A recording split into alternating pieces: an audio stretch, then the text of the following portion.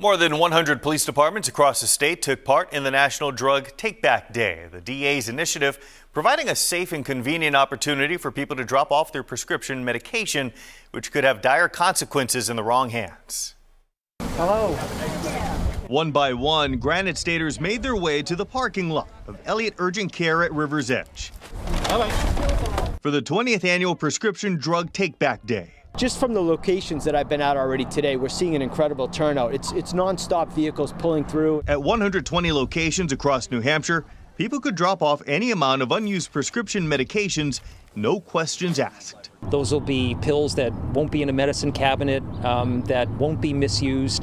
Um, and so this is one important step at addressing addiction in New Hampshire. Last October, the DEA collected nearly 1 million pounds of unused prescription drugs nationwide medications that often go forgotten and many times unused. But it's important to know that after those high levels of pain are gone, that those medicines need to be safely disposed of. While there's no way to quantify how many lives are impacted by events like this, Manchester police have seen firsthand the potential damage these prescriptions can cause should they fall into the wrong hands. It's good for my officers that and you know the personnel, the, the, the, medics, the fire department that go to these overdose calls, and all walks of life, right? I mean, that's I think that's what gets lost a lot of times is is addiction and overdose can touch any any family.